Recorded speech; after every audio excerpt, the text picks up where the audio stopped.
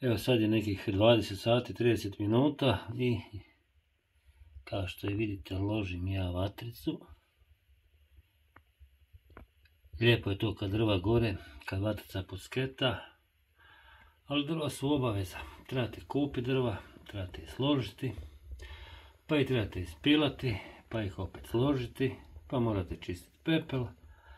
I tako, nije to bio problem nikome, a vjerovatno će se još jedno određeno vrijeme ovako uložiti vatra na drva, grijat ćemo se, ali međutim, pomalo to sve odumire i nestaje.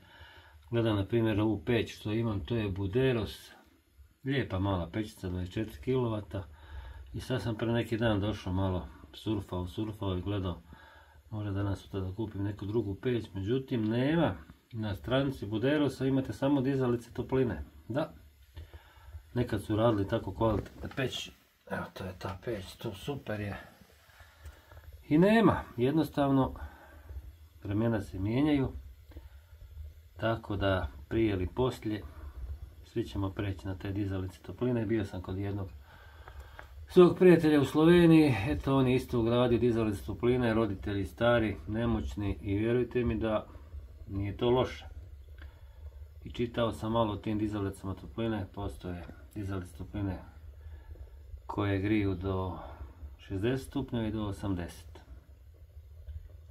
Ima tu sad raznih tih tehnika, kombinacija, gdje su vam cijevi, jesu li pod zemljom, jesu li u podrumu, jesu li gore, dole, svega tu ima, ali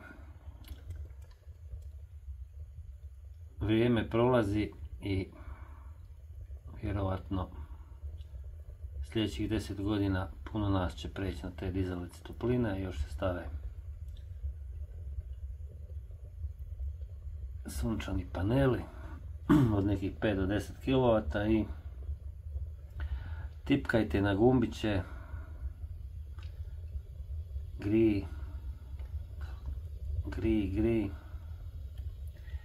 grijete se. Isprogramirate i ali sve u svemu mi smo ovdje dosta u nekom dobrom podneblju. Te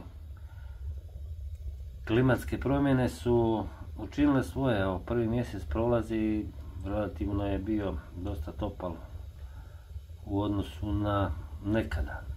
Tako da imamo sreću da nema više tako jakih zima i to vam je tako. Ništa nema ljepše od ovoga, ništa, vjerujte mi, evo, kad slušate sad ovaj, ovaj zvuk.